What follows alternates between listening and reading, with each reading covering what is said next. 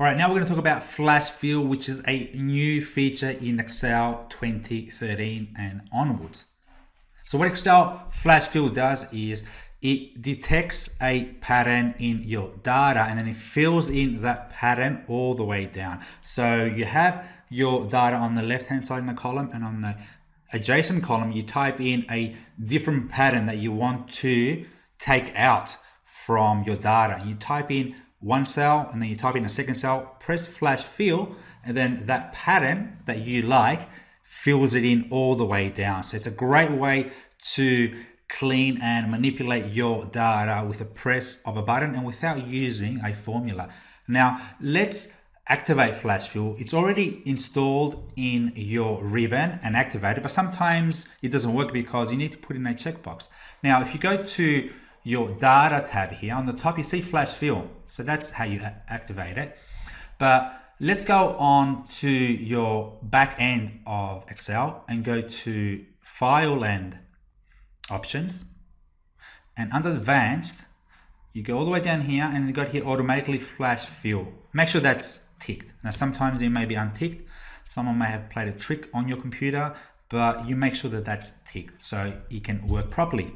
So that's how you switch it on. Now let's go on to an example here.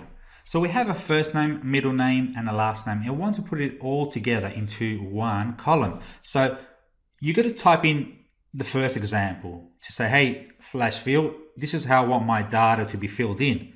So type in John J. Michaloudis. And then it's always a good idea to type in a second example, especially if you have large data and you have different permutations. So let's type in Oz du Soleil. Now, to activate flash fill, just go to data and flash fill, or you can press Control E. Control E is a shortcut. Now we're going to press this button here. And you see that it's taken the first and the middle name and the last name and put it all into one cell. You see that? Beautiful. Let's go to another example, extract names. We have a full name here. I want to extract the first name in this column and also this last name in this column E. Now put in the first name here, John, press enter and then type in O. Now I'll press in O and then it gives me a suggestion. It says, okay, you're gonna put in Oz. Is that correct? And then at the bottom here, you wanna put Brian and Leda and Mika. So what you wanna do is take out the first name from the full name it gives us a suggestion. If you like this, press enter. If you don't, just type in something else. We like this. Let's press enter. And it fills it in. Now you get this box here. Let's tick on that. You get undo the flash fill. You can accept these suggestions or you can select all five changed cells. So you got a couple of options there. Now we don't do anything there. If we don't like this flash fill, we just undo it. Or you can also press Control Z, press Control Z or Control Y to go back. Let's put in that last name, Michaloudis and press in Control E shortcut. You see there the first, the sorry, the, the last name has been automatically extracted from this column and put in here. How cool is that? Let's go on to format numbers. We have a phone number here and we want to put in a hyphen after three, three digits. So every third digit put in a hyphen. Also the last number. We don't want to include it because it was downloaded in an error. So we don't want that. It means nothing. So the 3, the 5, the 1, the 6, the 8. Let's get rid of it. So to do that, press in 814 hyphen 428 hyphen 422. Okay, press enter. We like this. We can do another example here, but let's just press Control A, see if it accepts it. Okay, it does. You saw that? It's put in a hyphen in every third digit and also it's taken out the last number. So there's a lot of different ways that you can um, do flash fill. You can actually add in another number if you like or a letter at the end. Imagination can go wild. It's it's open to, to the way that you want to um, manipulate your data in and there's no limit here. If I wanted to add in an AA at the end here, for example, let's get rid of this 814 hyphen 428 hyphen 422 hyphen and add in AA. Add a couple letters. Could be a serial number, not a phone number. Press enter and then press Control E and you see that it's added in AA to all the numbers there as well as include the hyphens in every third digit. Pretty awesome, yeah? Next example is move text and numbers. We have a serial number 123ABC 786 SWR. We want numbers first and then letters. Now this here is wrong. It says ABC 123. We want 123 ABC. We want the numbers first and then the letters. We can do that, but we're going to tell Flash Fill this is how I want the data to be extracted. Let's do two examples. One, two, three, ABC.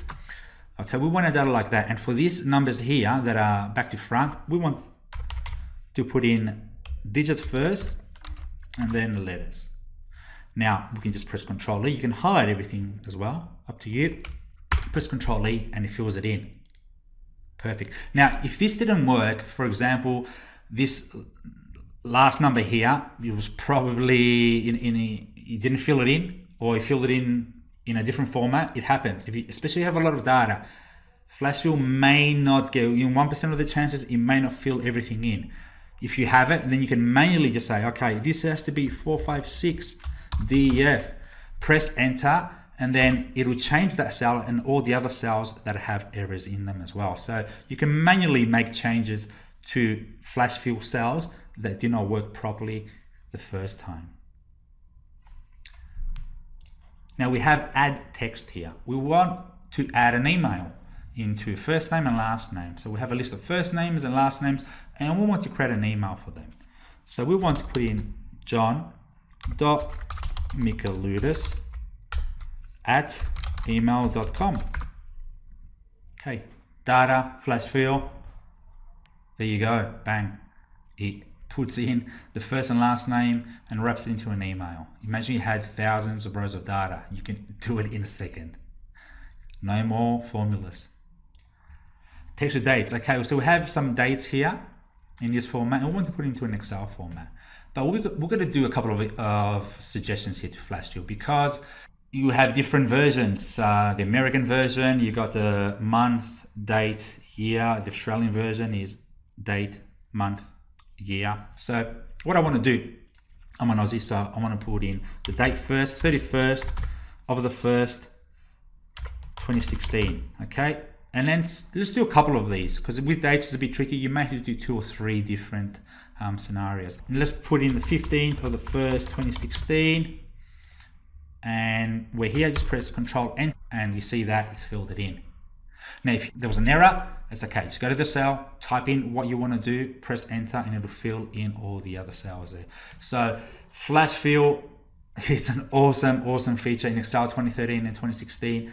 You don't have to use formulas and it's within a second you can fill in thousands of rows of data you can extract data to the way that you like it data manipulation data cleansing at its best